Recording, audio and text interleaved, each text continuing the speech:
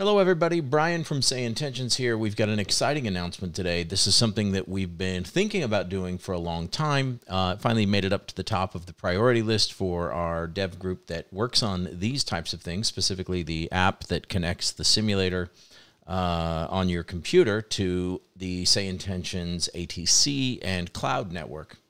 Uh, one of the things that we are really proud of at Say Intentions is that our stuff works um, really agnostic of the simulator itself. The only thing we need in order to make our stuff work is basic telemetry data from the sim altitude, heading, airspeed, um, just the types of things that um, in the real world ATC can see on radar.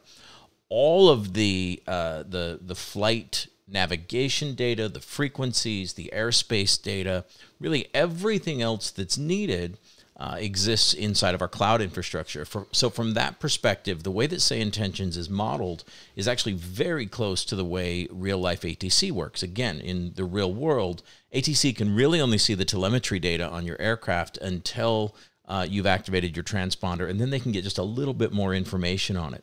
We model that perfectly. And one of the things that allows us to do is work with a variety of flight simulators. And that's why we can work today with Microsoft Flight Simulator 2020, 2024. We also work, work with X-Plane 11, X-Plane 12, uh, P3D V5, P3D V6. And all of this is because, again, we're not relying on um, any actual data from inside the simulator, again, other than basic telemetry data.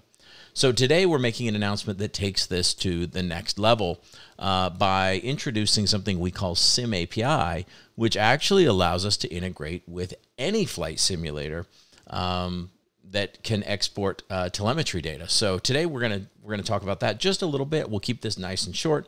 Uh, but if you go to sayintentions.ai slash sim API, you'll actually get all of the details on how this works. The most important uh, thing here is that you can now connect any flight simulator to the Say Intentions ecosystem by building a small adapter that uh, that connects the two together. In other words, if you can get into the simulator and you can export the basic telemetry data, there's probably maybe 15 or 20 data fields that we need, then you can now connect that simulator into the Say Intentions ecosystem. And the reality is that most flight sims that are out there can be integrated to work with say intentions really with eh, probably just a few hours of work if you if you've got a developer who's experienced with um, exporting these variables uh, out of the the simulator so this is really really simple to build adapters now that can connect say intentions to any ecosystem so uh, again takes just probably uh, for an experienced developer who's done um, similar things, uh, probably just a couple hours of work. Um, and uh, the adapter can be written in any language. Uh, so if you're a C++ person or a C Sharp person, or you want to use some other language, Python, uh, whatever you want to use uh, is, is, is fine. Um, and the only um, real restriction is that the adapter needs to be able to read and write to the same hard drive that the Say Intentions application is installed on.